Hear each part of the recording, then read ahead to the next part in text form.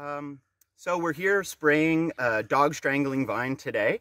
Uh, we're using um, Roundup Weather Max, um, partly because the weather has been adverse, but also because we're finding it is uh, really effective at knocking back advanced populations of this particular plant.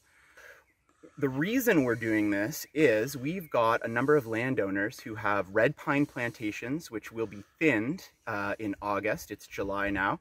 And we're worried that the increased sunlight that we'll be getting into these thin plantations will allow that dog strangling vine to proliferate. So the plan is to knock it back here today and over the coming days in anticipation of that logging activity.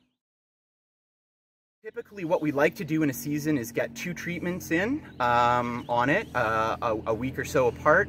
Usually two seasons of treatments, enough to get it to a point where uh, a landowner can handle it themselves. It's amazing how it can thrive in such a shaded environment, right? I mean, it like nothing else can even stand a chance. And in an area like this, what's not like ideal forest, but you might expect to see, you know, some some other nicer stuff growing in there. But as it stands, it's like dog strangling vines. Um, this is the key period in time to try to get your first treatment of spray on the plant because it's vulnerable at this stage.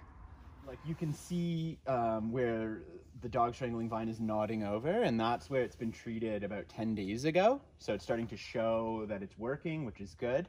And then over here, you've got area that has been treated you know 13 months ago approximately it is looking good and dead which is what we want.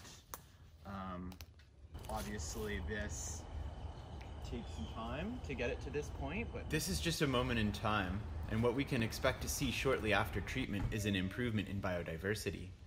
What we want to promote on these forested landscapes are things like black walnut sugar maple and basswood as well as native shrubs and other plants essential to ecosystem function. The targeted application of herbicide is a tool to rehabilitating these ecosystems, and glyphosate, the active ingredient being applied, breaks down into common elements and simple inorganic compounds that are not toxic. The ecosystem post treatment is a place where restoration can occur and ultimately a return to balance can happen.